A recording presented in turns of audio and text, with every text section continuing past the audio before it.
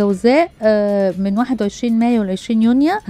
آه، الجوزاء خريطة حياته هتتغير خالص بقى بشكل يعني بشكل واضح بسبب الثلاث كواكب الكبيرة اللي هيتغيروا من مكانهم مم. وده آه، أما هيتحرك بلوتو بعد 20 عام هي الخريطة دي هيبقى نهايتها سعيدة okay خلاص هيبقى في تقدم في الصحة والطاقة هت... هت... هيبقى الدنيا أظرف آه، هتبقى ال... ال... الحب حلو جدا خصوصا آه، في من أول 17 مايو هيدي هيدي لك ألور حلوة قوي وكاريزما حلوة جدا. آه، بعد كده آه، لما المشترى هيتحرك هيدعم طاقته الروحية جدا. آه، والولاد ال- والشباب اللي بيدرسوا عندهم فرصة حلوة جدا. للدراسة مم. والتحصيل والسفر الخارجي كمان. أوكي. الصحة مفترض إنها تكون جيدة ومتزنة جدا بالرغم من ضغط كوكب زحل طاقة كوكب زحل عليه. بس بعد 8 مارس آه، الدنيا هتتغير. مم. هيبقى أحلى كتير. آه، تحرك بلوتو اللي, رايح جاي ده آه، هيخليه لحد 25 هيبقى عنده عنده خناقة كده بسبب التناقض ما بين الكوكب والبيت وطبيعته بس آه، هيفتك ه- هيعمل افتكاسة جديدة لصحته وهيعيش في style أو مختلف قوي يدعم بيه صحته. okay. الأسرة حلوة جدا ما فيهاش طاقة خالص. يعني ما بنقول ما فيهاش طاقة يعني ما فيهاش تأثير طاقة كواكب فيبقى الحال كما هو عليه. مش. ما فيهاش طاقة يعني وحشة. مم. إحنا زي ما إحنا. راضيين وحلوين قوي وهن آه هتمشي الدنيا يعني.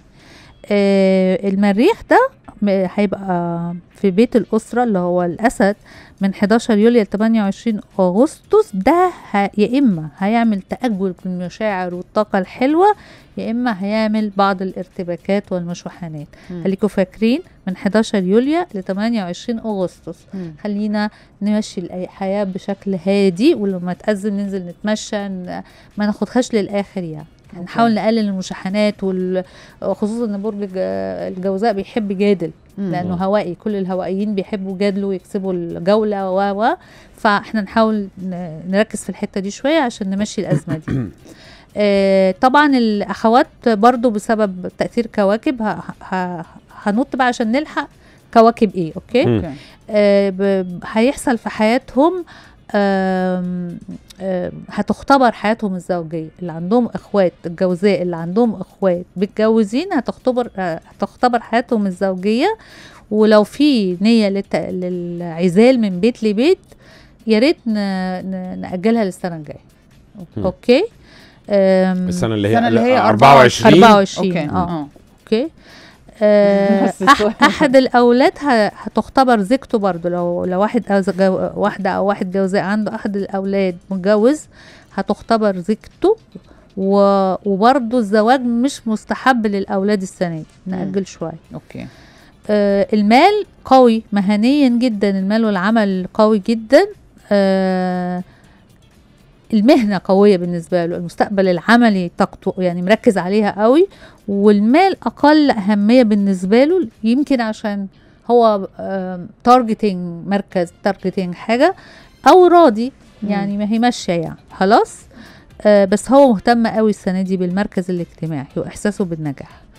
آه قول إيه تاني؟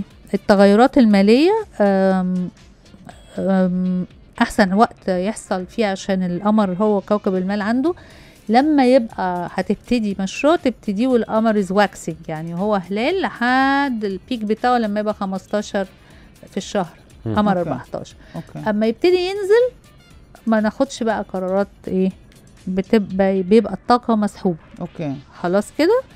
آه بس هو آم، آم، عنده أما هيدخل له بقى زحل في بيت العمل اللي هو لما ينقل زحل الحوت يعني من أول 8 مارس